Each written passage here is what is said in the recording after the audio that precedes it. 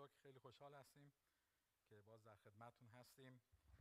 با برادر عزیزم آلبرت سالها دوستی و از یادم سال شاید 90 ما با هم در همین هامبورگ من اولین بار اومدم اینجا کلیسای هامبورگ با برادر سعید تبیانی بود و یه عده اینجا شروع کردیم. آلبرت اون موقع هنوز فارسی بلد نبود صحبت کنه ولی میدیدیمش اینا و کلیسا رو در هامبورگ شروع کردیم. یه شهادت کوچیک بدم از اون موقع.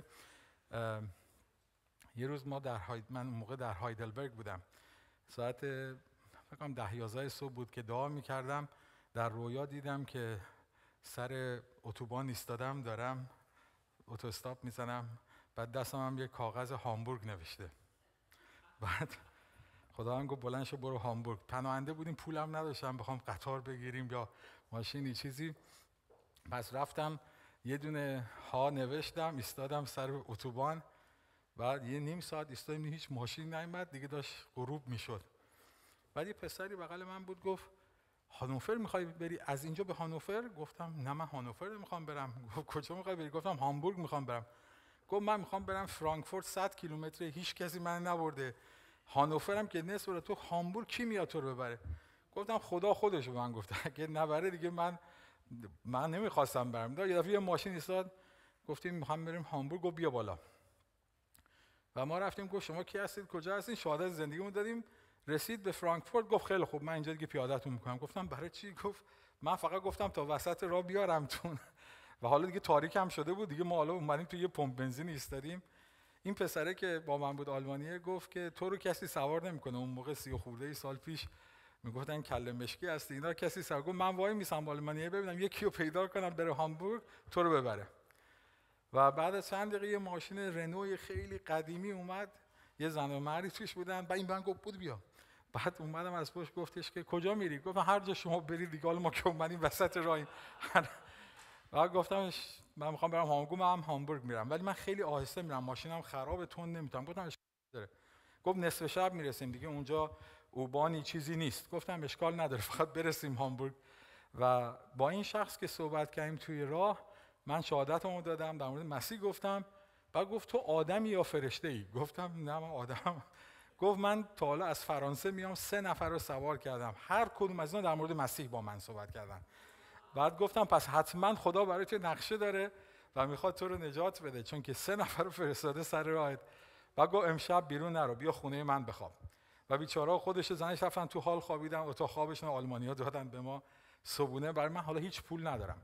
دیدم یه کارت روزانه هم برای من خریدن که تمام روز به صلاح بتونی بری. منم یه انجیل آلمانی داشتم به اونا هدیه دادم باشون دعا کردیم قلبشون رو به مسیح دادن و من زنگ زدم به برادر سعید که موقع هامبورگ بودن.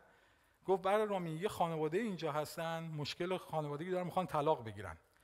و گفتن اگر خدا واقعا می‌خواد ما رو به هم وصل کنه یه خادمی رو از خارج از هامبورگ بیاره اینجا.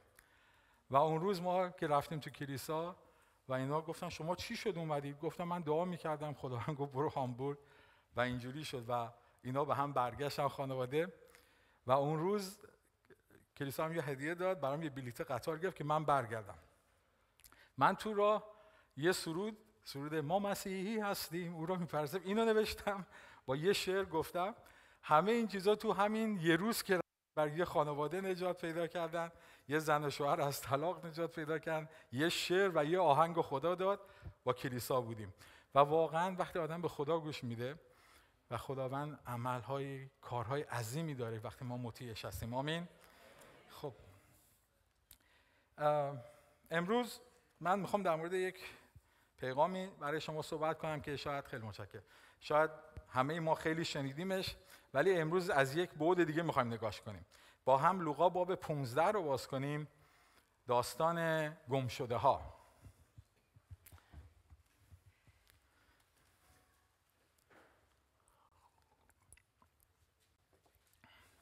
همه شما من مطمئنم که یکی از داستانهای معروف انجیل هست. اینو شنیدید.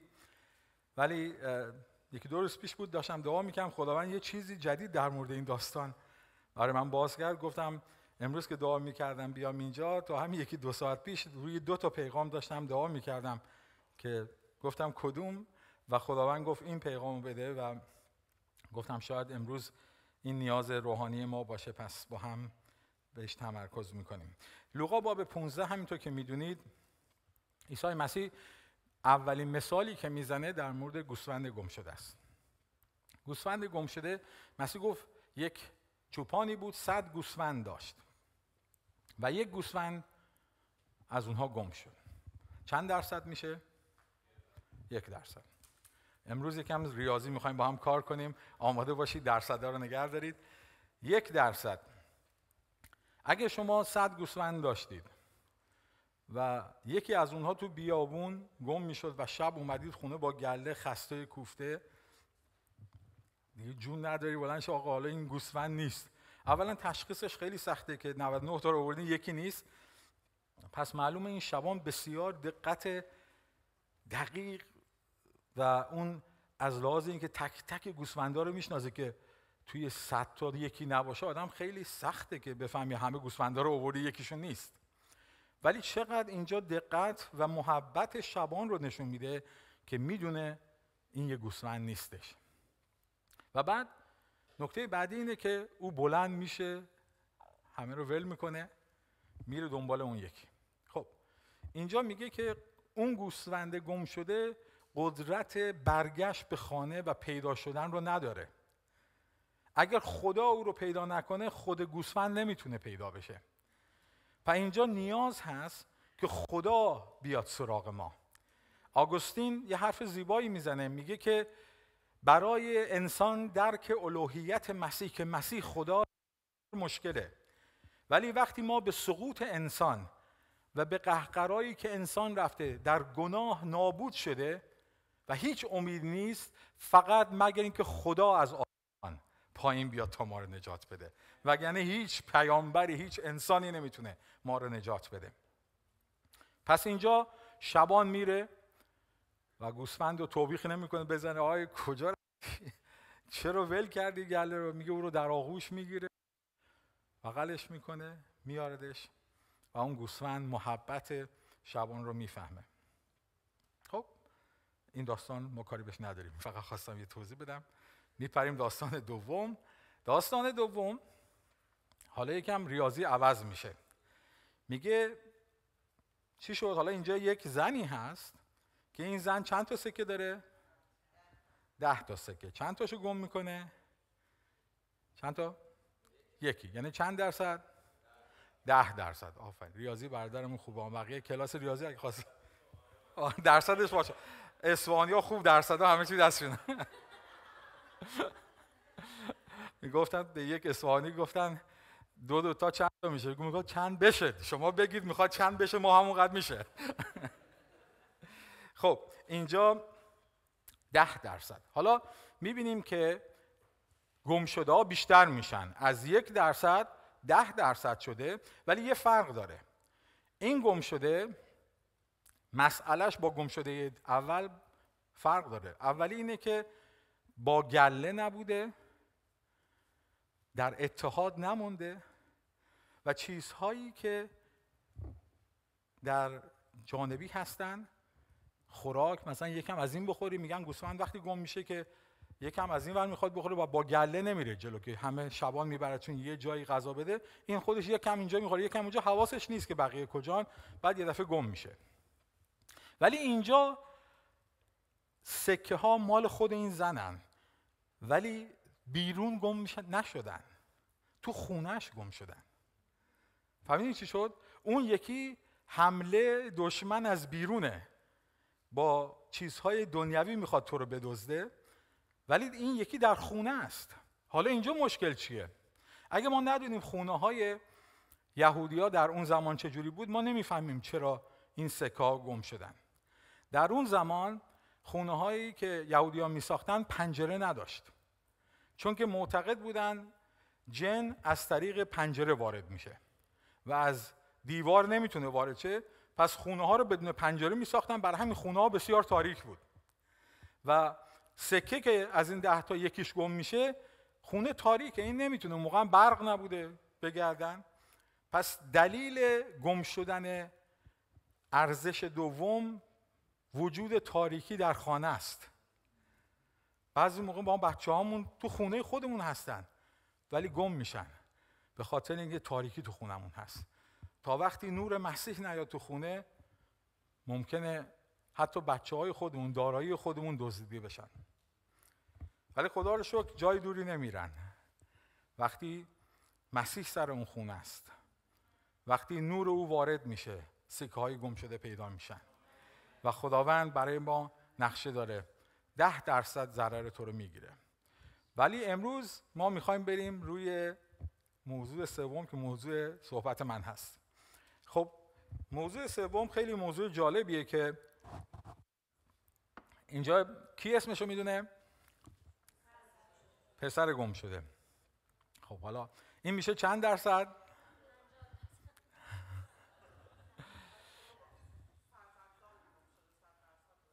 آفرین. اینجا همه اشتباه می‌کنن. برای همین خداوند به من گفت امروز پیغام اینه. پسر گم شده نیست. پسران گم شده است. یک درصد ده درصد و صد درصد. حالا به شما نشون میدم چرا پسر دوم گم شده است. و امروز ما اول با پسر اول شروع می‌کنیم. تو لوقا باب 15 باز کنید لطفا وقتی که اونجا داستان رو خیلی بعدا آخر سر بهتون گم جریان این داستان چیه؟ خیلی داستان برای یهودی ها این داستان آشنا بود. خب میگه که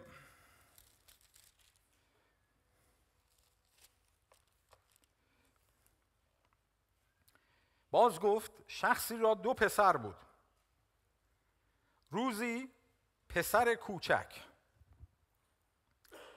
به پدر خود گفت ای پدر رسد اموالی را که باید به من رسد به من بده. پس او مایملک خود را به این دو تقسیم کرد. و چندی نگذشت که آن پسر کهتر آنچه داشت جمع کرده به ملکی بعید کوچ کرد و به عیاشی ناهنجار سرمایه خود را تلف نمود. چون تمام, تمام را صرف نموده بود قحطی سخت در آن دیار حادث گشت و او به محتاج شدن شروع کرد پس رفته خود را به یکی از اهل آن ملک پیوست و به او را به املاک خود فرستاد و آرزو می داشت که شکم خود را از خرنوبی که خوکان می‌خورند سیر کند و هیچ کس او را چیزی نمی‌داد. آخر به خود آمده گفت چقدر از مزدوران پدرم نان فراوان دارند و من از گرسنگی هلاک می شدم. برخواسته نزد پدر خود می روم و بدو خواهم گفت ای پدر به آسمان و به حضور تو گناه کردم و دیگر شایسته آن نیستم که پسر تو خوانده شوم مرا چون یکی از مزدوران خود بگیر در ساعت برخواسته به سوی پدر خود متوجه شد اما هنوز دور بود که پدرش او را دید. ترحم نمود و دوان دوان آمده او را در آغوش خود کشیده بوسید. پسر به را گفت ای پدر به آسمان و به حضور تو گناه کردم و بعد از این لایق آن نیستم که پسر تو خوانده شوم. لیکن پدر به غلامان خود گفت جامعه بهترین را از خانه آورده به دو بپوشانید و انگوشتری بر دستش کنید و نعلین بر پایش. و گوساله پرواری را آورده ذبح کنید تا بخوریم و شادی نماییم. زیرا این پسر من مرده بود زنده گردید و گم شده بود یافت شد. پس به شادی کردن شروع نمودن.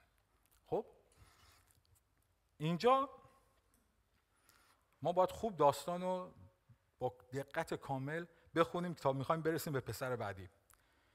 پسر کوچیک پسری هست که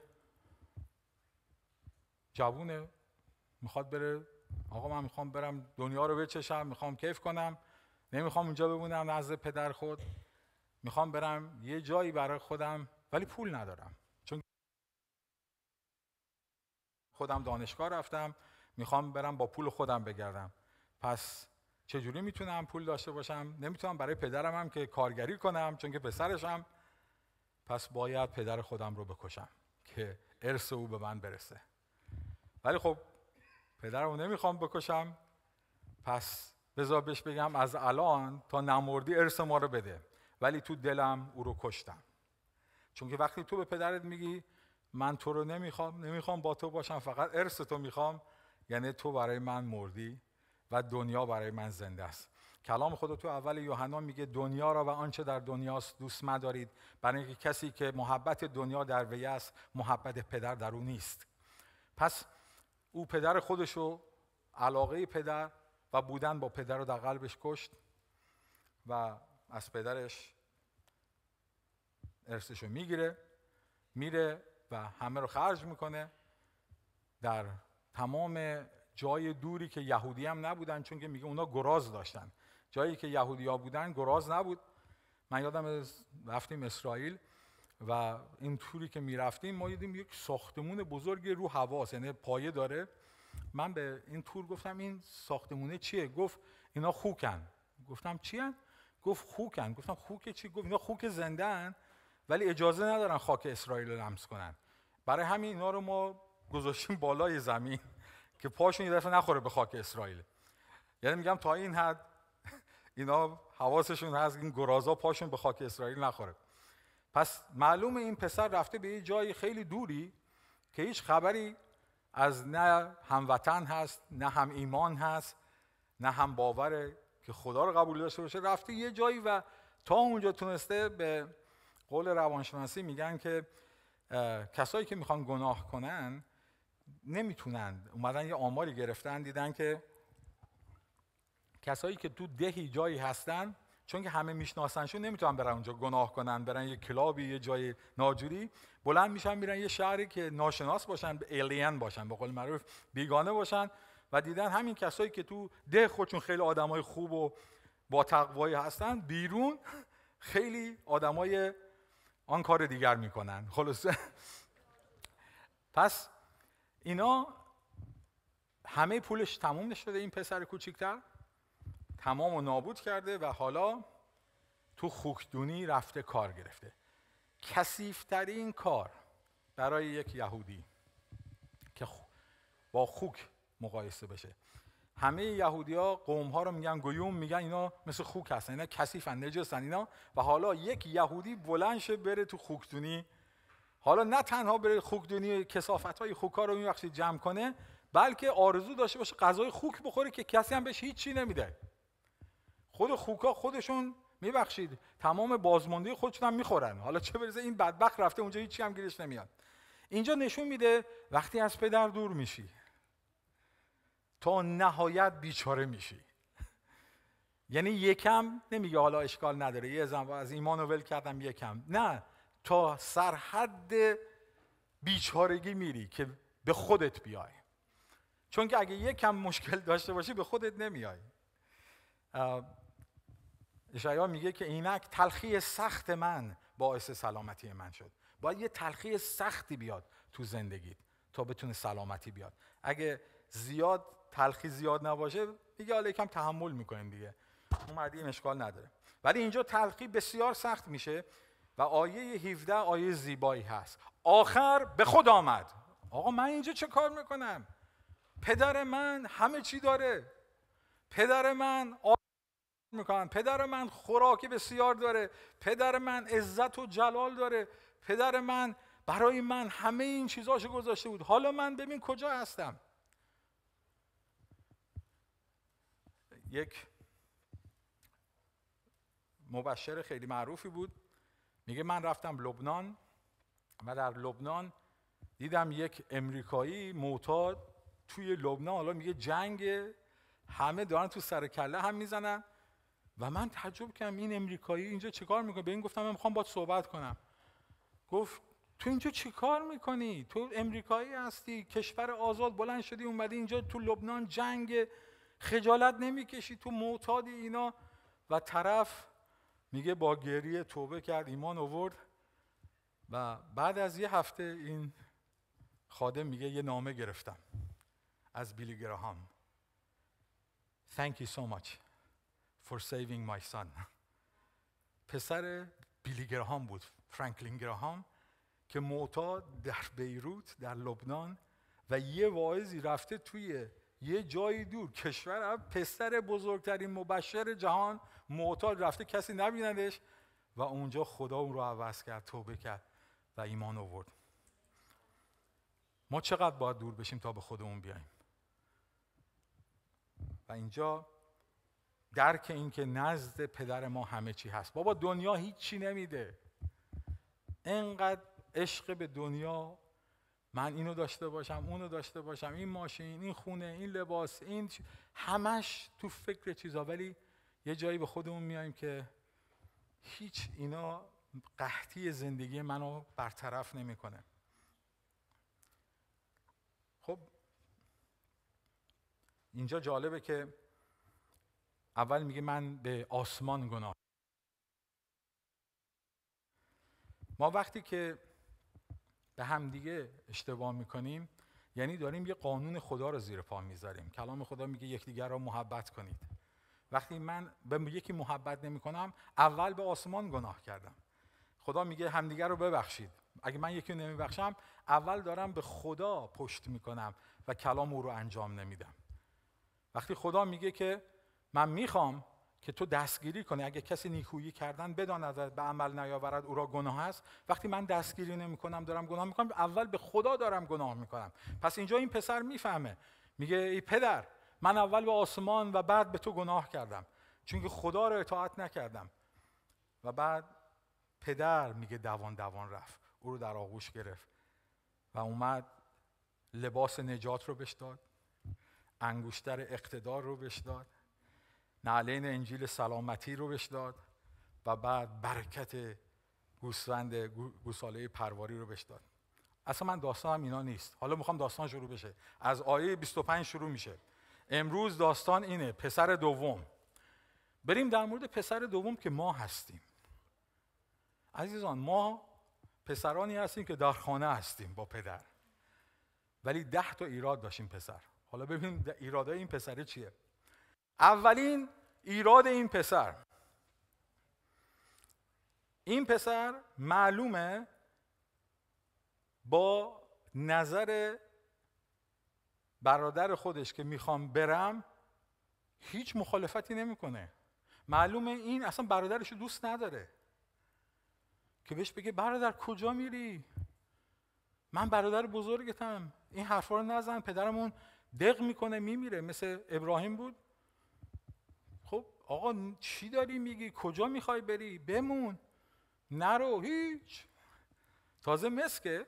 این پسر میگه نو که اومد به بازار کهنه شده دلازار مثل این برادر کوچیکه که اومده مثل اینو تحویل نمی‌گیرن. تازه میگه کاش که این بره. از شرش راحت شیم. همه توجه روی من باشه. و تازه اومده بودیم از برلین هی من می می‌رفتم. بچه ها لطف دارن خیلی اینجا. و یکی از عزیزان خب می‌رفتیم خونه اون. من یه روز رفتم خونه یه ایماندار دیگه. دیدم این زنگ زد. برادر دیگه ما رو فراموش کردی دیگه. آه یه خونه دیگه پیدا کردی رفت. برادر همه شما عزیزید. من خونه همه دوست دارم باشم اینجوری. همه دوست دارن میگم آقا تو فقط با ما باش. نرو با کسی دیگه. همینجا بمون. و ولی میگی آقا خدمت من با همه است. اینجوری نیست که من فقط با یکی باشم. و اینجا ولی این برادر احساس می‌کنه که مثل که همه توجه نمی‌گیره. و اصلا حرفی نمی‌زنه که آقا من می‌خوام برم پدر ارث منو بده. خب حالا دومی چیز رو من می‌خوام به شما بگم که اصلا بهش فکر نکردید. می‌دونستید این آیه اینجا چی میگه؟ یه لحظه نگاه کنیم به این آیه خیلی آیه عجیبیه. آیه دوازده. روزی پسر کوچک به پدر خود گفت ای پدر رسد اموالی را که باید به من رسد به من بده. پس او مایملک خود را به آن دو تقسیم کرد نه به پسر کوچیک فهمیدی چی شد؟ طبق قانون یهود تصنیه باب 21 آیه 16 و 17 نگاه کنیم چی میگه. اگر پدری بخواهد اموال خود را تقسیم کند به پسر بزرگتر باید دو برابر دهد. فهمیدین چی شد؟ این پسر عجب آدم سیاسی بوده. تا این پسر کوچیک گفت چی نگفته. هر چی پسر کوچیکی گرفته این دو برابر گرفته. چون اینجا اینجا میگه تقسیم کرد. بین این دو. نمیگه فقط به کوچکتر داد. پس این پسر خیلی سیاس و در ظاهر خیلی دلسوز پدره ولی داره دو برابر پول می‌گیره برای خودش. و همه پولام تقسیم شده. یعنی اینجوری نیست که بگیم پدر نداده. میگه پدر همه چیزو بین این دو تقسیم کرد. دو تا برای دو پسر بزرگم یکی برای تو. دو تا برای تو یکی برای این. پس اینجا این پسر که با پدر هست آدم سیاس و نفع خود را طالبه. و دلسوزی برای برادر خودش نداره. بذار بره.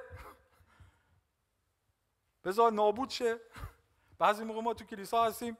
آقا این طرف بره اصلا بذار دعا کنیم این نابود شه.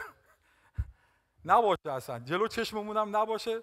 خدا رو شکر. به ما دو برابر توجه می‌رسه. دو برابر خدمت به ما می‌رسه. هللویا. برادران رفتن اینا از ما نبودن رفتن. دلسوزی کجاست؟ این خیلی مهمه که بدونی اینجا کلام خدا داره میگه اگر تو برادر بزرگ هستی نگاه کنین آیه رو بخونیم با همین آیه رو لطفا. اول پتروس سه هشت رو یه نفر لطفا بخونه. اول پتروس سه هشت.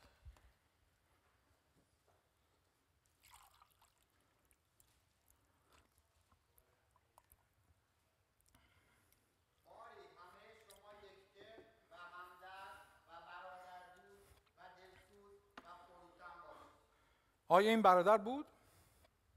نبود. نه برادر دوست بود نه فروتن بود نه همدرد بود. هیچی. آقا رفت خدا رو شکر رفت. پس این برادر بزرگ آدم سیاسی بود. ظاهرا با پدر با خونه داره خدمت می‌کنه در اونجاست. ولی برادر خودشو دوست نداره خواهر خودشو دوست نداره.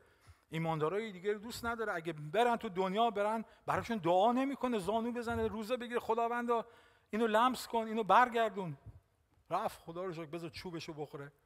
چشمش گور. خب نکته بعدی می‌رسیم به یه دفعه میپریم به آیه 25 داستان پسر کوچیک تموم میشه. از آیه 25 پسر بزرگ شروع میشه. در آیه 11 و 12 می‌بینیم چند تا نکته رو. یک پسر بزرگتر برادر بزرگتر نصیحت نمی‌کنه دلسوزی نمی‌کنه. عیاس هست فریبکاره چون که دو برابر داره می‌گیره نمیاد بگه پدر جون من اصلا نمی‌خوام. ارسمو نمی‌خوام بیا بگیر. من به من نده من این مال توی پدر تو زنده هستی. اصلا چنین چیزهایی نمیگه. و پدر بین دو تا تقسیم می‌کنه میده. حالا می‌رسیم آیه 25 اما پسر بزرگ پسر بزرگ او در مزرعه بود. ببین شما می‌تونی آدم بدجنسی باشی ولی در کلیسا باشی و خدمت کنی. ببین این میگه پسره با این همه چیزای بد ولی پدرش ول نکرده داره خدمت هم می‌کنه. چون که بعضیا تو روانشناسی یک تیپ شخصیتی از از 16 تا تیپ شخصیتی یکی هست که دوست داره قهرمان باشه میره با معتادا ازدواج می‌کنه. میره با دعام الخمرا ازدواج می‌کنه. اون زن دوست داره که بگه من اومدم توی بدبخت و نجات دادم. کی تو رو می‌گرفت؟ از این ارزش می‌گیره. بعضی هم تو کلیسا دوست دارن. آقا من اومدم اینجا. ببین تمام عمرم من نرفتم عیاشی کنم. من با بیمان نبودم. من همش خدمت کردم. ولی این از هموناییه که مسیح تو متا باب هفت گفت چه بسا آن روز میان میگن به نام تو دیوها اخراج کردیم معجزه کردیم این کردیم. مسیح میگه اصلا شما رو نمی‌شناسم. و اونا دروغ نمیگن. واقعا این کارا رو کردن. چرا اینجوری میشه؟ الان بعدا آخرش می‌فهمیم. چطور میشه؟ یه نفر تو خانه پدر باشه تو خدمت پدر باشه ولی دل پدر رو نداشته باشه. مسیح گفت اگر شما تمام معجزات تمام عطایا رو داشته باشید ولی محبت نداشته باشید هیچ سود نمی‌برید. اینجا نکته بعدی که از آیه 25 شروع میشه می‌بینیم این پسر میگه که اما پسر بزرگ در مزرعه بود چون آمده نزدیک به خانه رسید صدای ساز و رقص را شنید. پس به یکی از نوکران خود را طلبیده پرسید این چیست؟ حالا نکته دومی دیگه که اینجا اشتباس چرا پسر تو خونش ساز و شادی نیست؟ کلام خدا میگه آواز شادمانی در خانه عادلان است. این چه خونه ای که خونه غم و بدبختیه؟ تو اگر ایماندار هستی باید شادی خداوند قوت تو باشه. تو این تعجب کرده چرا شادی هست تو خونه پدر من؟ پس چی باید عزاداری باشه؟ بزنیم تو سرمون هللویا. مثلا بهتون گفتم یه بار من براشون تعریف کردم داشتم یه سرود می نوشتم تو همین آلمان بودم بعد خیلی استرس بود فشار روحی اینا. بعد من گیتار رو گرفتم. وقتی از زندگی خود سیر میشم وقتی خداوند گفت ساکت؟ اصلا این سرود اصلا سرود غمگین نمی‌سازی. مگه تو نوح خون هستی؟ من غمهای تو رو گرفتم. تو به چه حقی داری آهنگ غمگین می‌سازی؟ و بعد گیتار رو برداشتم. او زنده است او قادر است شایسته است او ایساس شادی خداوند. همینجوری سرودهای شاد فقط سرودهای شاد. و خدا هم گفت رسالت تو این نیست که غم و عزاداری رو به دیگران منتقل کنی چون که من غمهای مردم رو گرفتم. تو لازم نیست براشون نوحه بخونی. به قول سهراب سپهری برای من ماتم زده بدبخت ماتم که خدارم خودم نمی‌خواد نوحه بخوانید. خودم همینجوری بدبخت هستم. مردم خودشون غم دارن. مردم دنبال شادی هستن. و اینجا این پسر بزرگ میگه چرا تو خونه پدر من شادیه؟ تعجب کرده. چرا موزیک و رقص و شادی هست؟ پس یکی از نوکران خود را طلبیده پرسید این چیست؟ به وی عرض کرد برادرت آمده. پدرت گوساله پرواری را ذبح کرده است. زیرا که او را صحیح بازیافت ولی او خشم نمود. خشم. پسر خشمگین. کلام خدا میگه خشم مگیرید و گناه مورزید. خورشید بر قیز شما غروب مکند. مسیح گفت اگر کسی بی سبب به برادر خود خشم گیرد مانند قاتل است. آقا چرا؟ به جایی که خوشحال باشی برادر برادرت زنده پیدا شده. تازه خشم گرفتی؟ تلخی داری؟ و نکته بدترش اینه که اینجا میگه که به خانه نخواست درآید. آقا تو با یکی دیگه ناراحتی داری. چرا نمی‌خوای بری کلیسا؟ چرا نمی‌خوای بری پیش پدرت؟ من از این طرف ناراحتم دیگه کلیسا نمیام. من یادم تازه اول ایمانم بود رفتیم یه اردویی. و ما اونجا گیتار می‌زنیم اردوی مسیحی که بودیم. یه هفته تو کرج بودیم اینا. دخترها و پسرها جوان جوانان بودیم. و یه کشیشی دفعه اول بود ما رو می‌دید. بعد گفته بود که این برادر رامین اومد فقط گیتار گرفته می‌خواسته دخترها دور جمع بشن می‌خواسته دختر بازی کنه. من بگی حالا تازه رفتیم اونجا. من انقدر ناراحت شدم. گفتم این خبر نداره. من از بچگی امریکا بودیم. اصلا مثل این نبود که تو جمهوری اسلامی باشیم. از بچگی دوازده سالگی امریکا رفتیم بزرگ شدیم بعد اومدیم ایران. بعدش هم توی محله بودیم که مال شرکت نفت و سازمان برق. ما دختر و پسر ما تا دوم دبیرستان سر یه میز میشستیم. بعد این گفتم این چطوری به خودش حق داد این کشیش؟ ندیده نشناخته ما رو قضاوت کرد. ما اومدیم برای دختربازی. و گفتم دیگه من کلیسا نمیام. اگه کشیشش اینه دیگه نخواستم. شب که رفتم دعا کنم. بعد خدا هم با قلبم صحبت کرد. این کشیش تو رو نجات داد؟ بعد گفتم نه. این کشیش تو اتاق تو اهواز ظاهر شد؟ گفتم نه تو ظاهر شدی خداوندا. گفت خب برای چی نمی‌خوای بری؟ اون کجاست؟ اون تو کشیشه یه جای دیگه است. تو می‌خوای من رو ترک کنی به خاطر اون حرف اون؟ و من گفتم خدای من رو ببخش. وگرنه همون اول شیطان یه کشیش رو گذاشته بود برای لغزش ما. بعضی بعضی افراد هستن چون که موقعیت بزرگتری دارن زیر زربینن خیلی باعث لغزش افراد بیشتری میشن. تا اینکه مثلا طرف بگه این بیمان بود یا حرفی زد ناراحت نشه ولی اون میگه نه این کشیشه به من اینو گفت. و اونجا بعضی موقع می‌بینیم شیطان ناخواسته از این افراد استفاده می‌کنه. ولی اگه واقعا تو مسیح رو شناختی و پدر رو شناختی هیچ موقع خونه او رو ترک نمی‌کنی. میگن وقتی که مهدی دیباج توی زندان بود نه سال و برای چند ماه وقتی خیلی تمام رسانه های عمومی در موردش صحبت کردن تو دنیا که اینو گرفتن اینا دولت اینو برای چند ماه آزاد کرد و او تمام خاطراتش رو تو چند تا کاست ضبط کرد خوشبختانه تا قبل اینکه بکشنش. یکی از این صحبتاش این بود میگه که این شکنجهگر من به من می‌گفت که تو فکر کن بری اون دنیا. و خود عیسی مسیح بهت بگه تو اشتباه کردی. حضرت محمد تو اشتباهی منو میپرستی. این شکنجری گفت تو به مسیح به محمد یا به خدا چی جواب میدی؟ گفت من؟ دیواج گفت من میپرم پاهای مسیح رو می‌گیرم. میگم خداوند من از پیش خودت پیش هیچکی نفرست. من عاشق تو هم من پیش هیچکی نمیرم. من به تو میچسبم فقط. وقتی تو پدر رو شناختی پدر رو به خاطر هیچ کس ترک نمی کنی. و اینجا این پسر و حالا اتفاق بعدی که خیلی بدتره پدر میاد التماس بش می‌کنه. برگرد.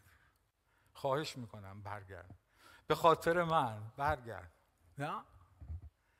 کلام خدا میگه کسانی که تلخی رو در خودشون نگه میدارن کشتی ایمانشون شکسته میشه. امکان نداره تو بخوای با تلخی به جایی برسی. یه آیه با هم بخونیم. از کلام خدا در رابطه با تلخی.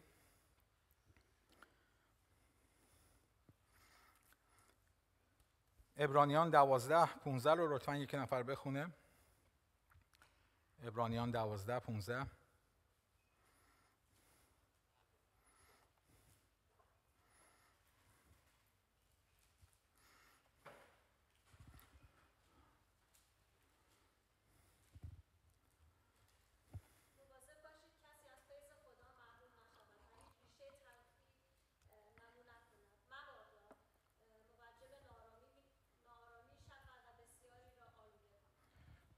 بله میگه مواظب باشید که ریشه تلخی رشد نکنه و موجب چی بشه؟ نارامی بشه.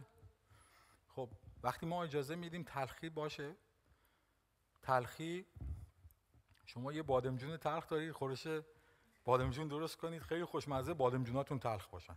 چی میشه؟ آقا همه میگه آقا این نمیشه خوردش. خب وقتی ایمانتون هم خیلی شیرین و خوبه ولی یه بادمجون تلخ از یکی تلخی داری؟ میگه این یکی رو نمیبخشم. یه ایمانداری بود پیش ما هایدربرگ. از زنش طلاق گرفته بود ولی انقدر تلخی خشم داشت. هرچی می‌گفتیم برادر بابا دیگه جدا شدی ببخش. نه من نمیبخشم. گفتیم خب خودت نابود میشی. ببخش که خدا تو رو ببخشه. چون مسیح گفت اگر نبخشی بخشیده نمیشی. گفت ببین من یه مترم بالا سر خاکم. سبزه در بیاد من نمیبخشم. گفت میری جهنم خودت برم ولی اونم بره. دوتا من می‌خوام این سوخته بشه. من نمی‌خوام. و جمعی از اون آلوده میشن. افسوسیان باب چهار آیه سی و یک و سی و دو رو با هم نگاه کنیم.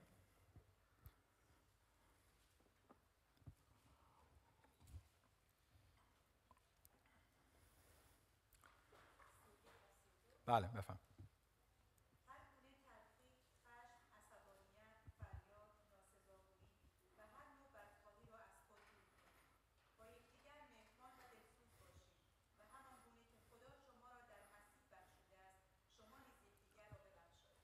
آمین.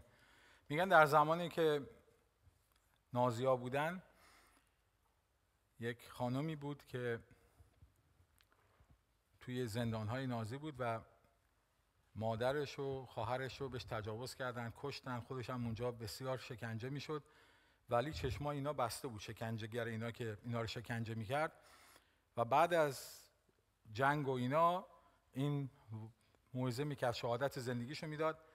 و توی یکی از این سالن‌های بزرگی که این صحبت می‌کرد که چطور خدا من رو زنده نگه داشت از این چیزا و چه تجربه‌ای دارم مردم می اومدن که براشون دعا بشه یا آقای اومد جلو و گفت مرا ببخش بلافاصله زنه قش کرد.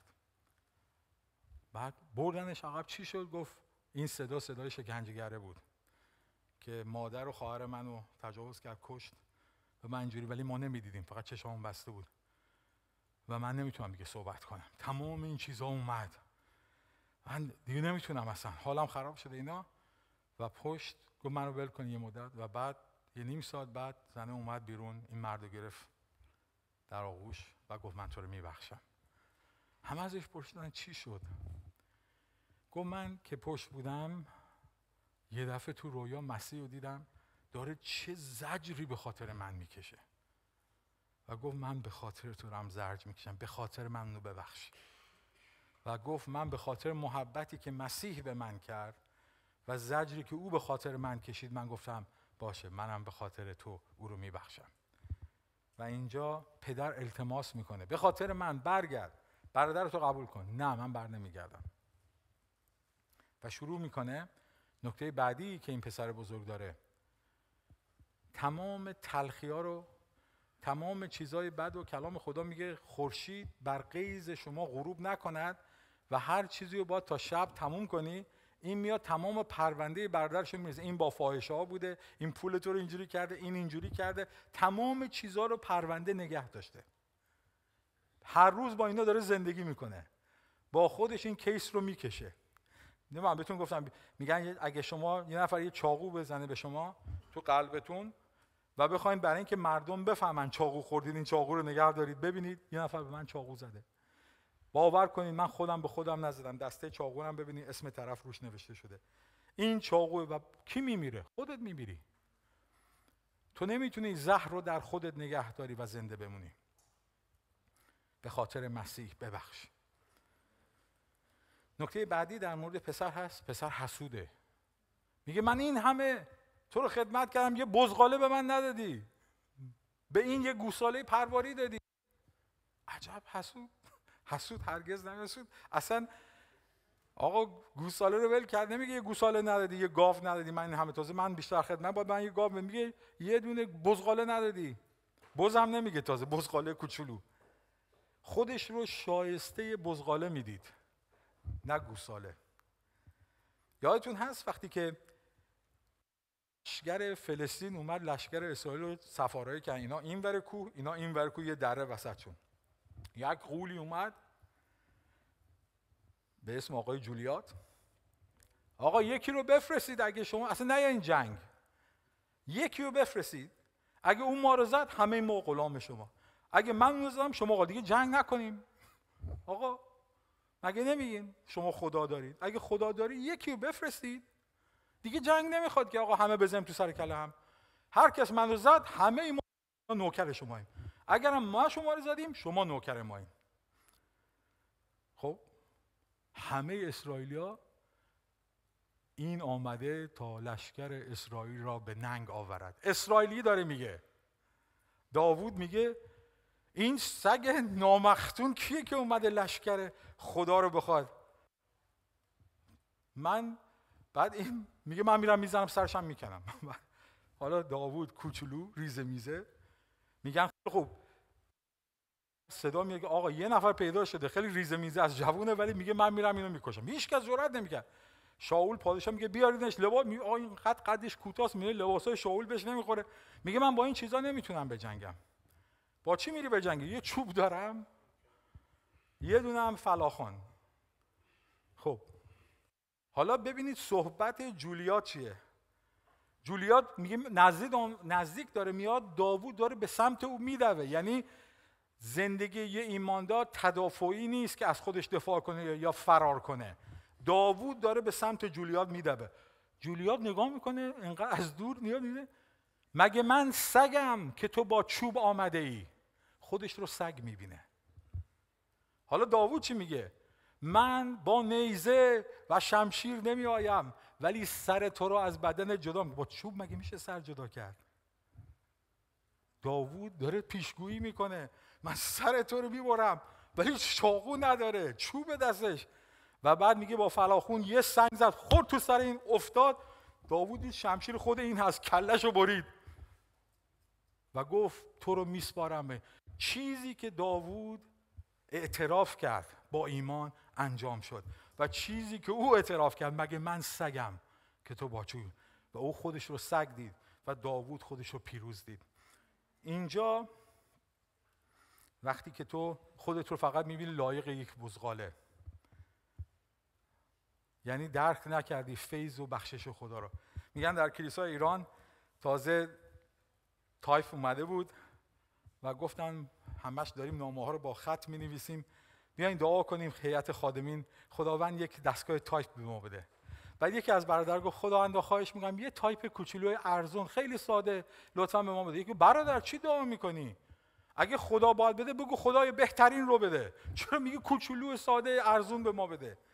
چیزی که از خدا می‌خوای بزرگ بخواد اگه خدا بخواد بده بذار با برکتش بده. گفتم یه بچه ای رفته بود با مادرش توی مغازه. مغازه‌دار دیدین شکلات تعریف می‌کنن. گفت به بچه گفت شکلات بخور. گفت نمی‌خوام اینا بعد به مادرش گفت اجازه نداره شکلات بخوره. گفت چرا؟ بخور مادر گفت نه نمی‌خوام. گفت چرا؟ گفت آقای به من شکلات بده. و گفت چی؟ گفت آقای به من شکلات بده. گفت برای چی؟ گفت آخه مشت من کوچولوه. مشت این گنده است. بذار این بده. هر چقدر بیشتر این شکلات میده. بذار خدا تو رو برکت بده. چون که پدر پرواری به تو میده. ولی تو بزغاله می‌خوای. دیدت پایینه. ولی فاجعه وقتی هست که بعد از بزغاله یه حرف می‌زنه.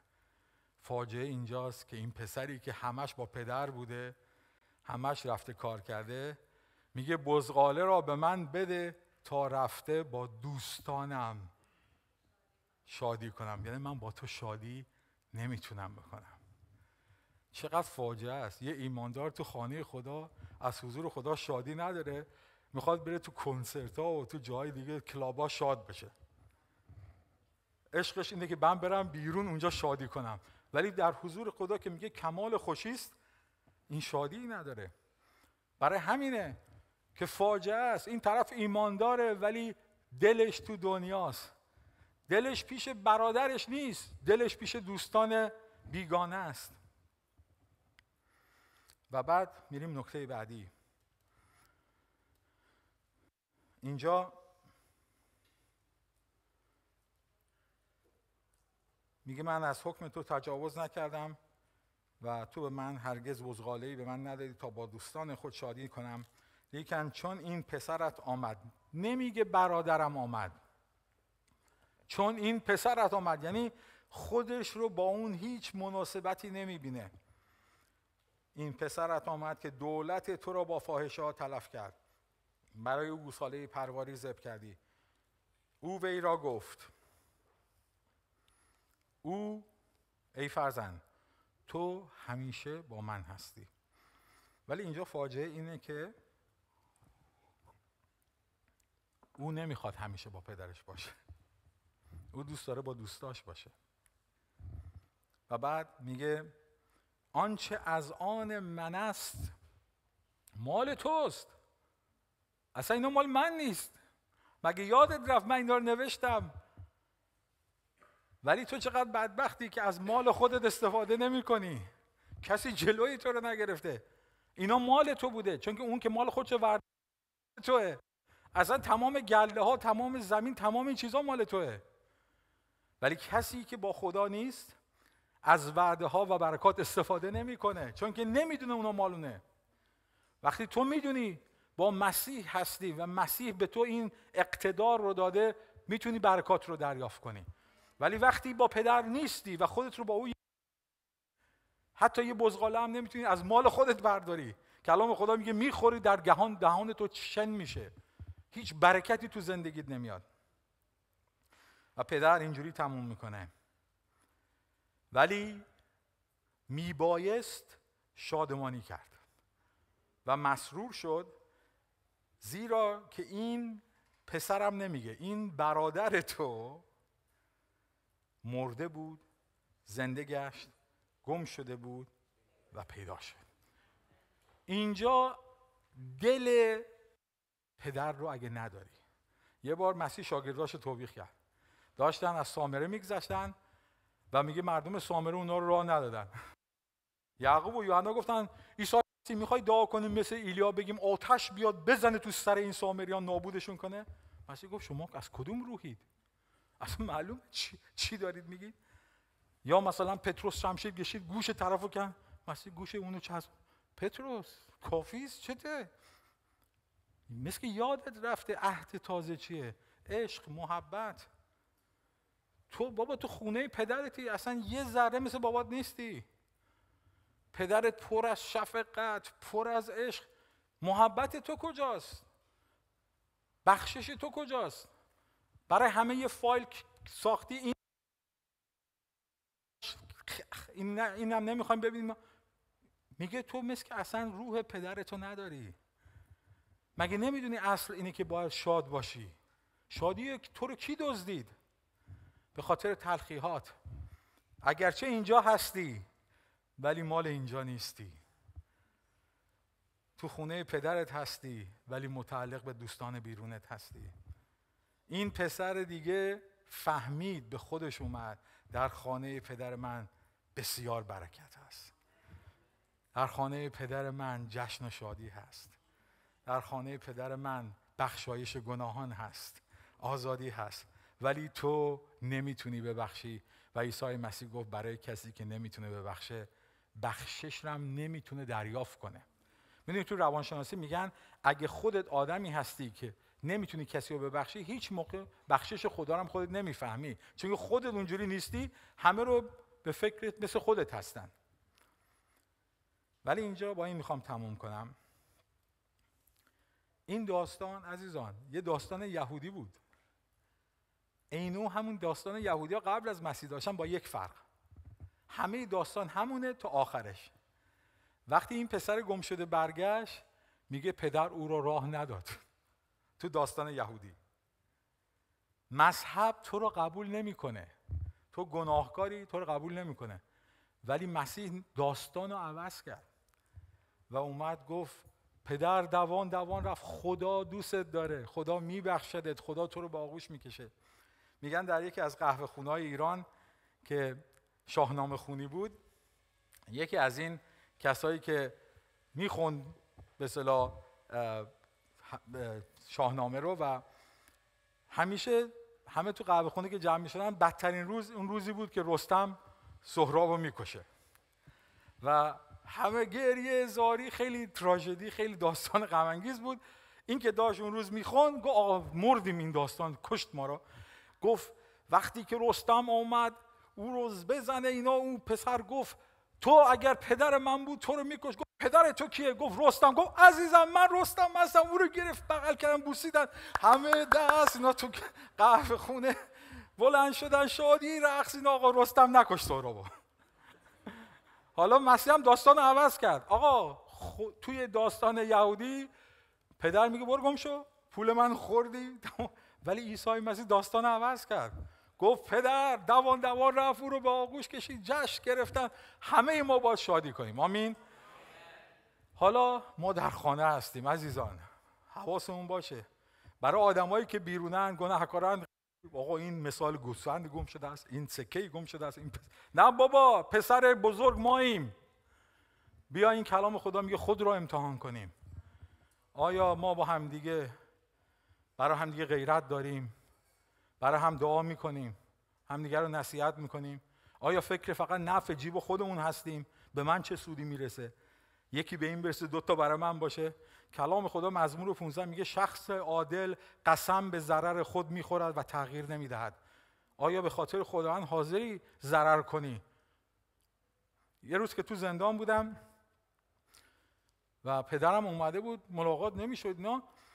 و من از این زندان ما خواهش کردم خواهش می‌کنم. بذار من برم. جمعه بود. من دوشنبه صبح قبل از اینکه شما اینجا رو باز کنیم برمیگردم. طرف گفت تو برمیگردی. کجا برمیگردی؟ مگه دیوونه ای هر کسی رفته دیگه نیومده. گفتم من باور کنید برمیگردم. گفت نمیشه.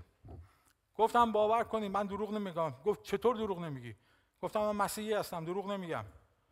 افسر بغلی گفت آزادش کن این برمیگرده طرف گفت چی؟ گفت این برمیگرده مسیحا دروغ نمیگن. گفت به زمانت تو اسمش اکبر بود. گفت با بفرست بره. من اومدم رفتم خونه زنگ زدم. گفتم آقا من افتادم تو زندان اینجوری شدم اینجوری شدم. و باید برگردم دوباره زندان. همه دوستان دیوونه ای. نه کاغذ ازت دارن نه چیزی. بابا بمون بمون. کی می‌خواد؟ نه شماره تلفن داری. اون موقع هم سی سال پیش. نه cell phone هست نه ایمیل هست. کجا می‌خوای بری زندان؟ گفتم من قول دادم.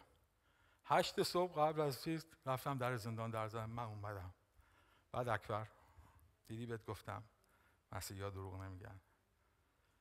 من افتخار می‌کنم. بعد از اون دو ماه دیگه هم تو زندان پدر ما رو در آوردن. ولی اقلا طرف فهمید مسیحیا دروغ نمیگن. بها میدی کتک می‌خوری سختی می‌کشی. ولی یه چیز رو ثابت می‌کنی که خدا زنده است. آمین. عزیزان مسئله این نیست که من تو راحت بشیم. مسئله اینه که مسیح دیده بشه در ما و مردم مسیح رو در تو ببینن و تمجید کنن. آمین. خداوند شما رو برکت بده. می‌خوایم با هم دیگه نزدیک بشیم به سفره خداوند. پس می‌تونیم سر پا بیستیم چند لحظه دعا کنیم.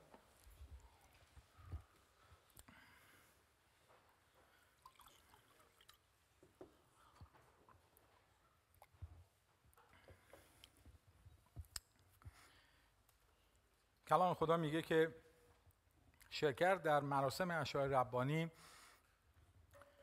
روبرو شدن با موت خداوند یعنی مسیح به خاطر تو روی صلیب رفت.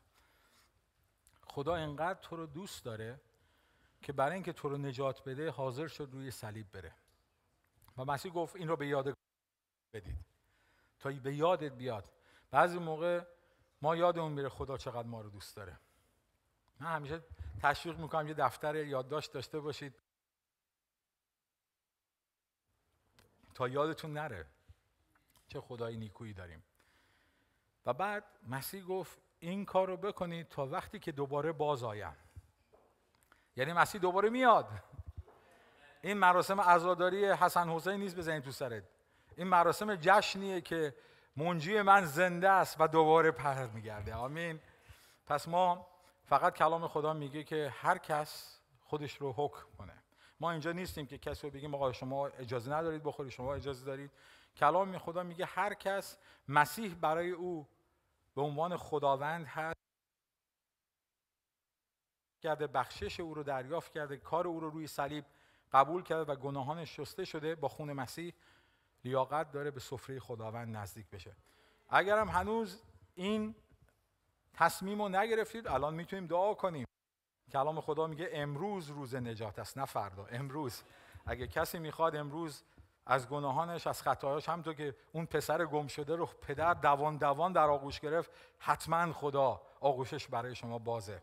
و خدا برای او هیچ امری سخت نیست هیچ مشکلی نیست هیچ بزرگتر خون عیسی مسیح نیست که بگیم خون مسیح نمی‌تونه این گناه رو بشوره. پس یک لحظه با هم دعا می‌کنیم. خودمون خودمون رو می‌خوایم امتحان کنیم. آیا خدایا من می‌خوام با قدوسیت پاکی بدون خشم بدون هیچ کینه اگر خطایی کردم ای روح القدس به یاد من بیار تا توبه کنم و با شایستگی به سفره تو نزدیک بشم.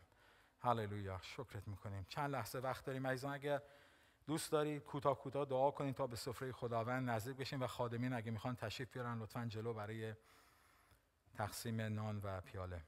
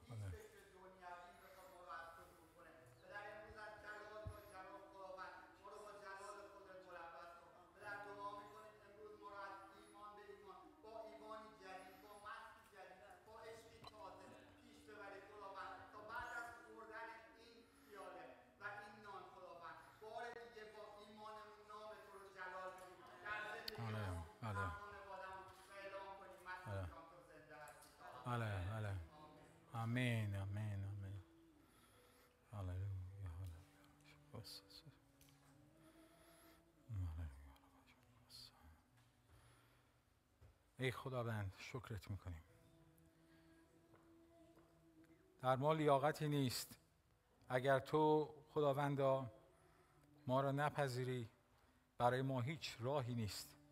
کلام تو میفرماید خوشی را که من به شما می‌دهم هیچ چیز قدرت نداره شما را از محبت خدا که در مسیح عیسی است جدا سازد. پس ما به این سفره محبت و عشق تو نزدیک میشیم و از غمها آزاد و خداوندا ردای شادمانی و تسبیح را از تو می‌گیریم.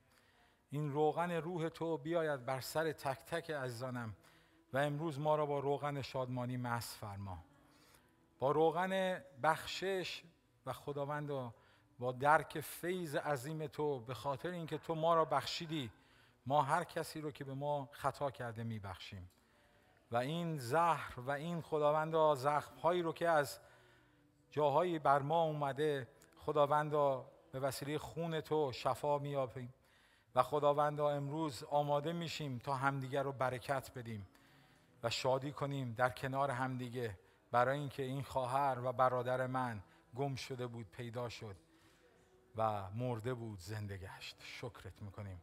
چون تو زنده هستی امروز ما حیات داریم. با ایمان به سفره مبارکتو نزدیک میشیم. به نام عیسی مسیح. آمین.